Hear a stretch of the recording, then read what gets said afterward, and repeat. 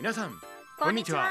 お元気ですか？市民の皆さん松本明則です。木戸ゆうきです。さて来月3日文化の日、まあ、この時期学園祭シーズンですけれどもね、はい。木戸さん学園祭何か思い出はありますか？そうですね。私は演劇部に入っていたので、はい。もう公演のことで頭がいっぱいでした、ええ。この私が周りの屋台にも目もくれずセリフええ。をブツブツブツブツって言ってましたよ、食べ物が喉通らないほど。そうです。それ頑張ってましたよね、はい僕はあのバンドをしてましてねこの時期ライブが多いんですけれどもねはい。あの一生懸命練習してオーディション通ってなんとかあの出れるんですね。僕一応あのボーカルだったんですけれどもそうなんですね。なんとかあの一緒にねあの練習してた記憶ありますけれどもね、はい。え皆さんどんな学園祭思い出ありますか？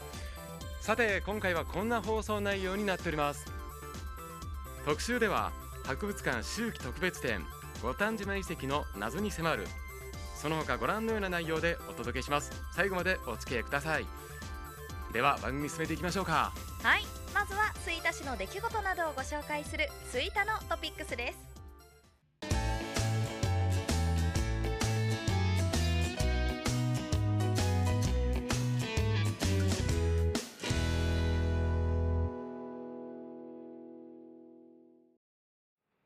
10月6日千里市民センターで食育講演会。野菜から食べる健康な体を作る食べ方が開催されました。講師を務めたのは京都女子大学家政学部食物栄養学科の今井紗恵子教授。講演で今井教授はまず日本人の健康寿命の現状や日本人に急増している糖尿病について話した後高血糖によって動脈硬化が進み脳梗塞や心筋梗塞などのリスクが高まることを説明しました。次に研究した血糖値の推移などのデータを示しながら食事をとる際の食べる順番によって血糖値の上昇の仕方に違いがあることを解説。最初に5分かけて野菜をとり次に魚や肉などのタンパク質のおかずを5分。最後にご飯やパンなどの炭水化物を食べることで食後の血糖値の上昇を抑えることができることを紹介しました。そして食べる順番を変えるだけでがんや生活習慣病認知症の予防老化防止につながる。食べる順番を意識して食事をしてくださいと締めくくりました。ご飯とおかずを一緒に食べる最初にしゅあの野菜をたくさん食べなさいっていうことと時間5分5分。そして最後に10分のご飯を一番最後食べること。それとてもいいことで聞きましたこれから実行したいと思います血糖値とかいろんなあの症例聞かせていただいて非常に参考になりましてこれもちょっと 頭の心の中に収めといていろんなその晩酌のこととかいろんなことも含めて生活にまあ生かしていきたいと常に思います。10月7日ウィンドサーフィンの世界大会に出場する山田中学校の内藤慎之介選手が後藤啓司市長を表敬訪問しました。内藤選手は今年8月に開催された JWA 全日本ジュニアユース選手権の第5回テクノ293全日本中学校選手権で優勝。10月22日から29日にイタリアで開催される世界大会に出場することが決まりました。市役所を訪れた内藤さんは後藤市長に世界大会出場決定を報告すると市長は一つのことを極めるために努力する経験はこれからの人生において有意義なことと栄誉をたたえました。その後行われた観覧では内藤さんがウィンドサーフィンを始めた動機や今後の進路などについての話題で話が進み最後に内藤さんが世界大会では上位入賞を目指して頑張りますと抱負を述べました。一本のボードに風の力だけで帆を立てて進むスポーツで決められたコースを回りその着順を競います。中学入学を機に新しいスポーツを始めようと思い甲子園浜で沖を走るウィンドサーフィンを見てそれに憧れを抱いてそれで始めました。自然の力を自分の判断力だけで動かせるという魅力です。2年後にある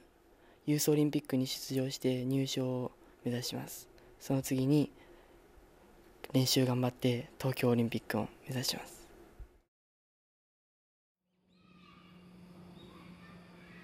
10月8日わくわくの里で小学生とその保護者を対象にした草花遊び教室が開催されました。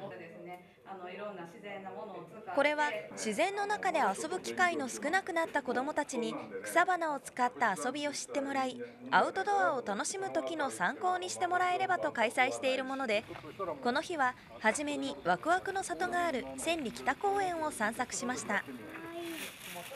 講師が公園にある草花について解説をしながら南京ハゼの葉っぱを使ったハンドバッグの作り方や柿の葉とどんぐりを使った人形作りなどこの季節ならではの草花でいろいろな遊びを教えました。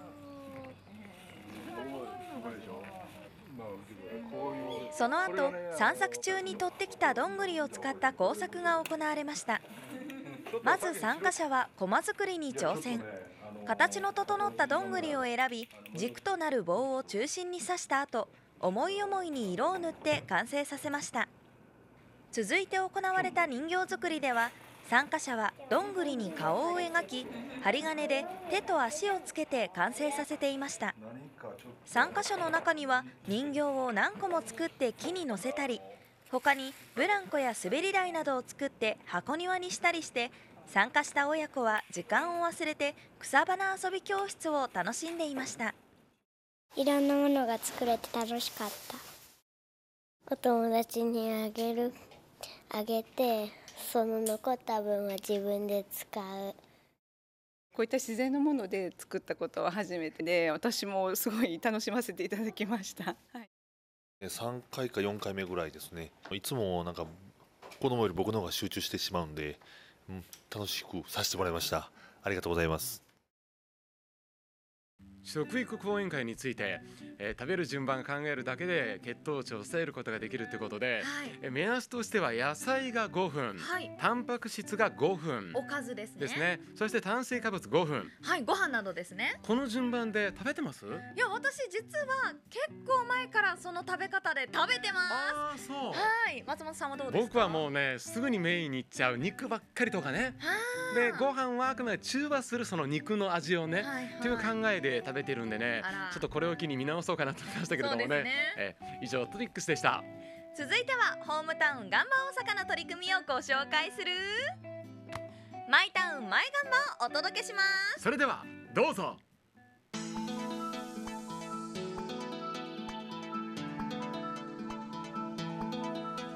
9月25日に私立吹田サッカースタジアムで行われた試合でガンバ大阪は J リーグ公式戦での通算来場者数が600万人を突破しました。1993年の J リーグ発足以来ガンバ大阪サポーターをはじめ多くのサッカーファンがスタジアムを訪れました。特に2005年の J リーグ初制覇を境に毎年25万人以上の観客を集め本拠地を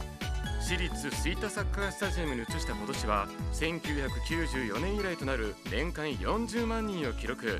23年をかけてついに通算600万人の来場者数となりました。その記念すべき600万人目となったのはガンバ大阪、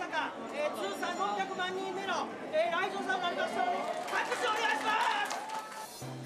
す。高槻市から来た佐々木春人君でした嬉しい。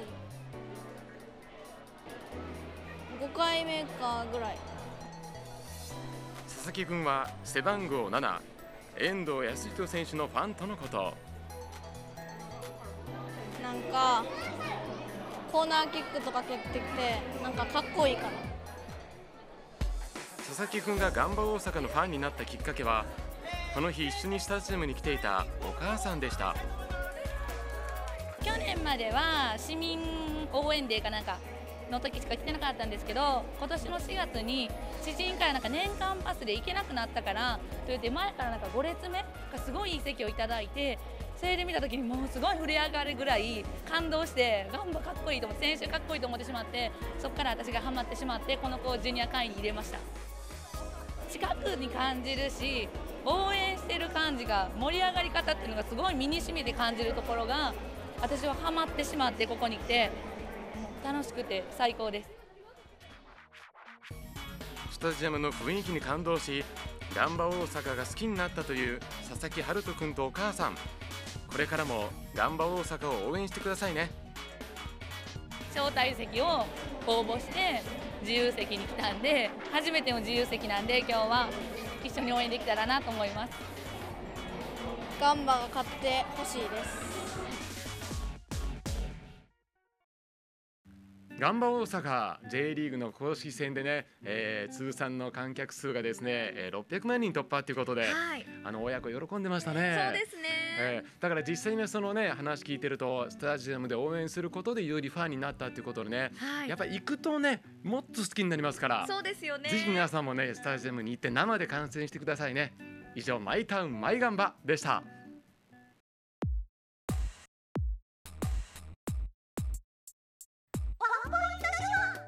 図書館へ。本を返しに行きます。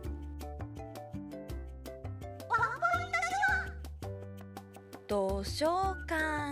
へ。本を返しに行きます。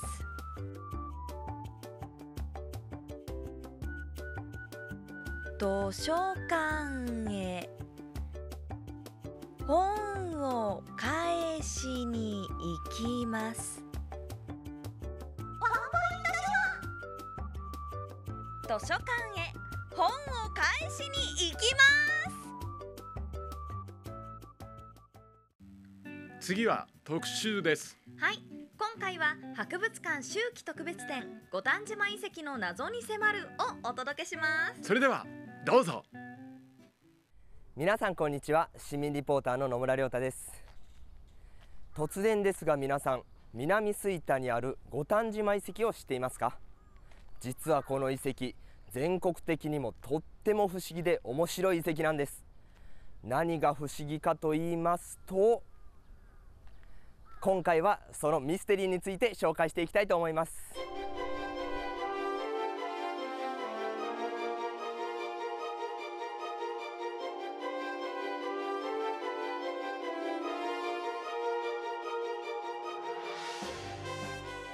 神崎川沿いに位置する五反島遺跡は昭和42年に南吹田下水処理場建設現場の地下3メートルから5メートル付近から土器が採取されたことによって発見されました。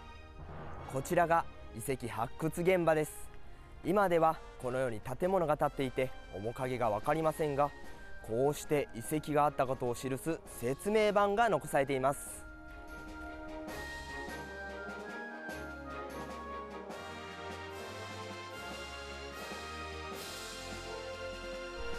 さてこの遺跡が不思議で面白いと言われる鍵となるのが横を流れる神崎川とこの場所から出土した数々の遺物にあります。一体どんなミステリーなんでしょうか？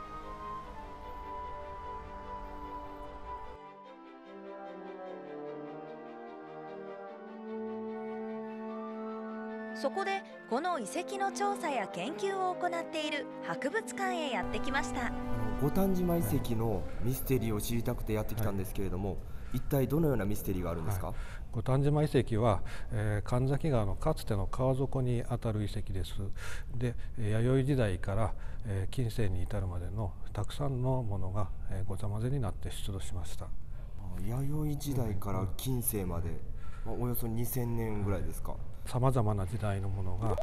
うバラバラの状態で、えー、顔の中に漏れていったのがまず一つとても珍しいことなんですけれども、えー、それがいつ埋もれたのかどうして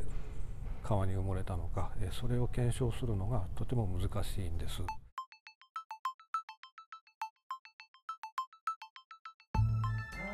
そうなんです今まで発掘された遺跡は同じ時代のものがまとまって発掘されたり発掘された遺物でその場所がどんなことに使用されていたのかある程度推測がついているのですが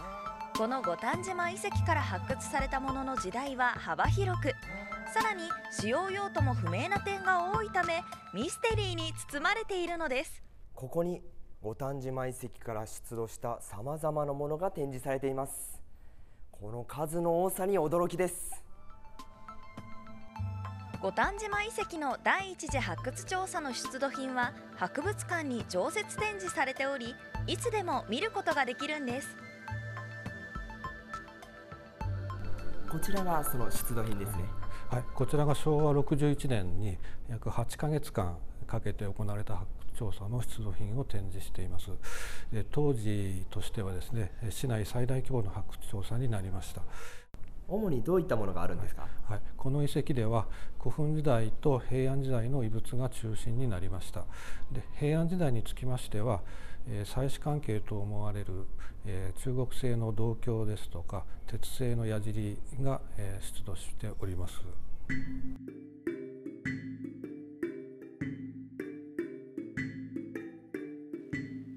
一次調査で出土した数万点のものの中で特に目を引くのが古墳時代の遺物で古墳以外での出土が珍しい鉄剣や朝鮮半島からの渡来文化を示す鑑識土器や移動式のかまど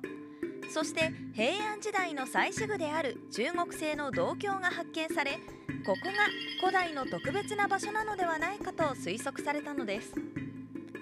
その特別な場所とは一体どんな場所なのか博物館の中巻館長にお話を伺いました第一次調査では主にお祭り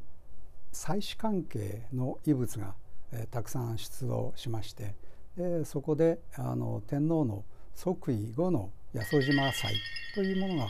え、行われたのではないかという仮説が浮かび上がってきました。えー、同居とかですね、えー、あるいはその祭祀に関連するような、えー、鉄属ですね鉄器の類などがたくさん出ましたので何らかのお祭りが行われたのではないかというふうな、えー、説が、えー、そこでもって浮かんできたわけですね。それがまあ最上かというクエスチョンマークにえー、つながるわけですけれども。第一次調査では立地とその出土品の内容から古代の最上なのではないかという説が有力となりました。しかしその後行われた第3次でさらにミステリーが深まったのです。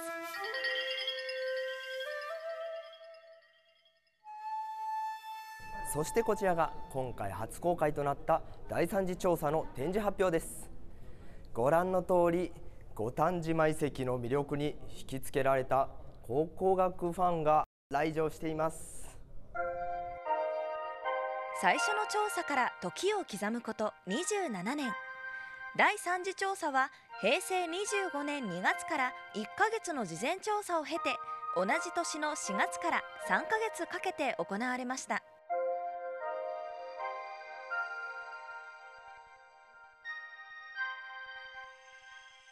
その発掘調査の成果をいち早く見てもらうための特別展が10月8日から開催され地元の人や多くの考古学ファンでにぎわっています。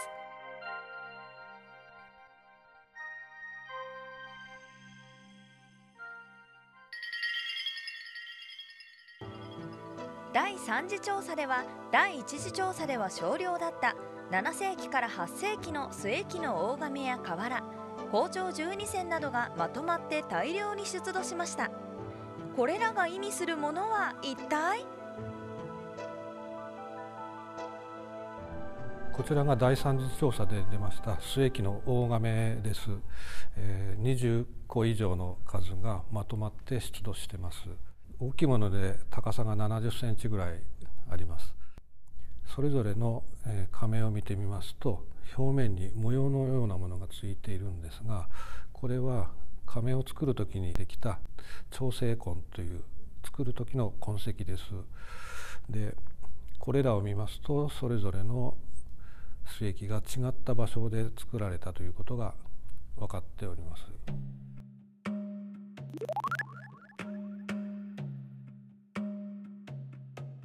なぜ産地の違う大亀がこれほど大量にこの場所に集められたのでしょうか？そしてなぜ川底に埋もれてしまったのでしょうか？謎は深まるばかりですちら瓦ですか？はい、こちらが第三次調査で出土しました大量の瓦です。えー、平瓦、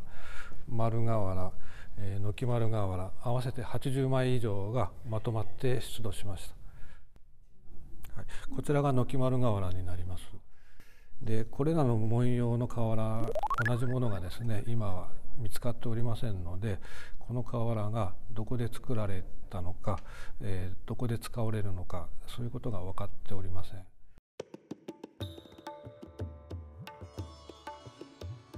瓦は古代では都や寺院でしか使われていなかったのですが五反島遺跡の周辺には巨大寺院の存在は確認されておらずこの大量の瓦がなぜここにあるのかもしくはどこかへ運ばれていく途中なのかミステリーとなっているんです。こちらお金ですよね、はい、こちらは校長十二銭と言われる銅線です。でこうしたお金が58枚えー、またまとまって大量に出てきますでこうしたお金が出てきたことによって、えー、物流のですね拠点における経済活動を行っていた可能性があって五反島が港として機能していたんじゃないかという推測のですね、えー、一つになってます。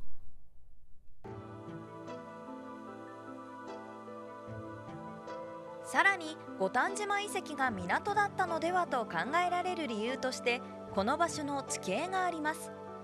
五反島遺跡のある場所はおよそ7000年前までは海の中にありました。それが古墳時代には堆積した土砂などで上町台地の北までさすが伸びてきました。その対岸にあたるのが五反島遺跡です。その後7世紀から8世紀頃には三角巣が発展し五反島の周辺に神崎川の原型が生まれます。このように海と川に隣接し流通の要として機能しやすい環境こそが五反島遺跡が港だったと考えられる理由なのです。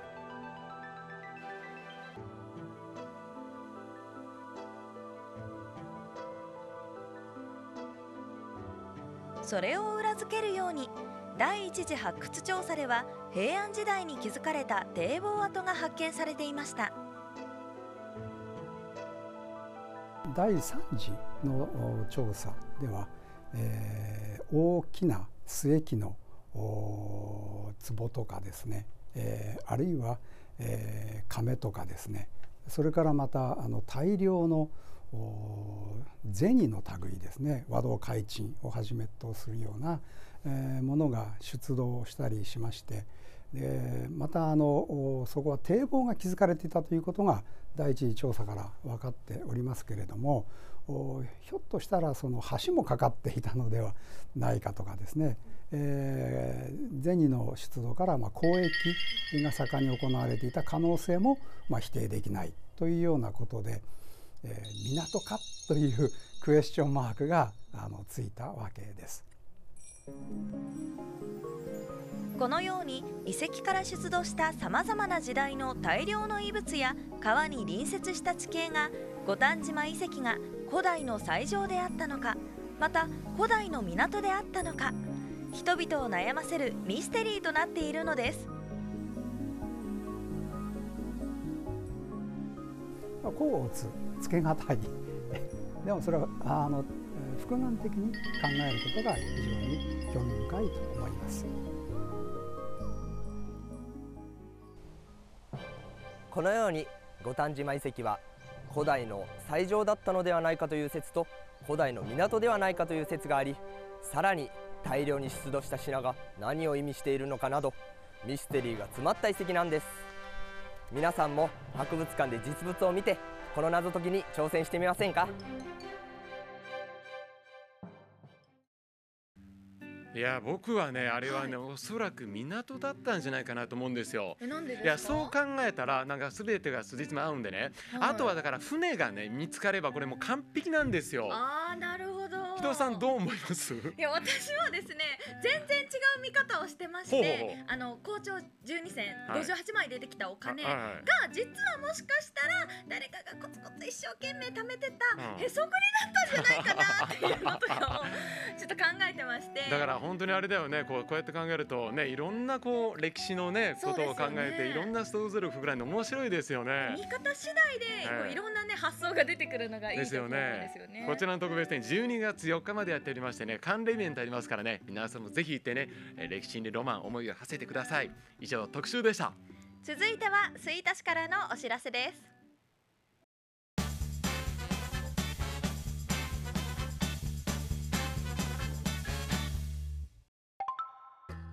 JR 吹田駅周辺の飲食店を飲み歩きながら新たな街の魅力を発見してもらう吹田バルを開催します。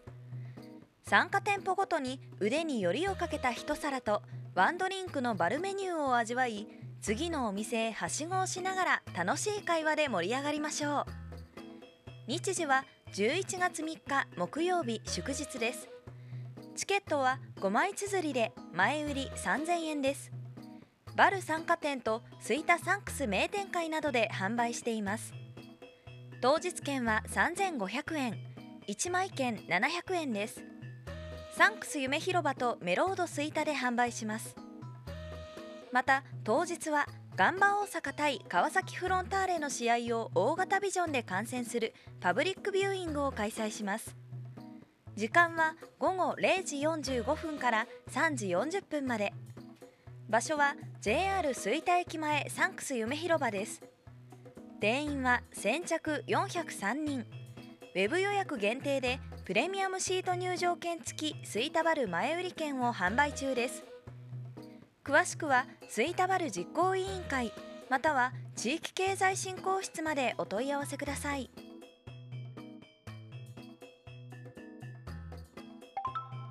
岸光一メモリアルコンサートを開催します。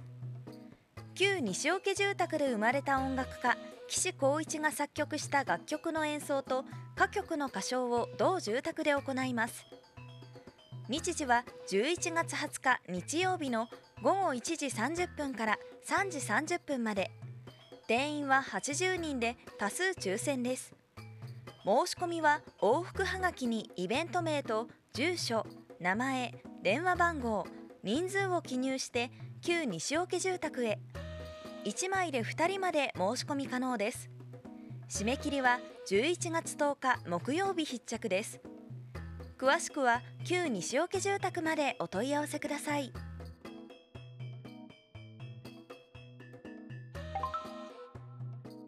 介護フェアを開催します。介護について理解を深めてもらうため千里ニュータウンプラザで講座や相談コーナーなどを行います。介護講座は11月10日木曜日に認知症サポーター養成講座と自分の家で暮らすためにみんなで考えるケアカフェと題した講座が11日金曜日に認知症予防認知症ケアの実践講座が行われますその他11月10日木曜日と11日金曜日にケアマネジャー保健師の相談コーナーが11日金曜日に認知症カフェ交流会が開催されます。いずれも費用は無料です。詳しくは高齢福祉室までお問い合わせください。さてエンディングです。次回の放送内容はどうなってますか？はい。次回の更新日は11月1日です。トピックスでは吹田キッズ健康サポーター講座の模様や千里岡北小学校でドキドキマーケットを開催した様子など。を特集は全力ティーンズをお届けします。はい次回もぜひご覧ください。それではまた。さようなら。さようなら